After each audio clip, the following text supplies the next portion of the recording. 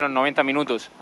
A pesar del resultado abultado y a pesar de todo, el Lorca sigue jugando al toque. Muy bien esa jugada Ilvanada. Atención Casian a la carrera. Atención Casian que se puede plantar.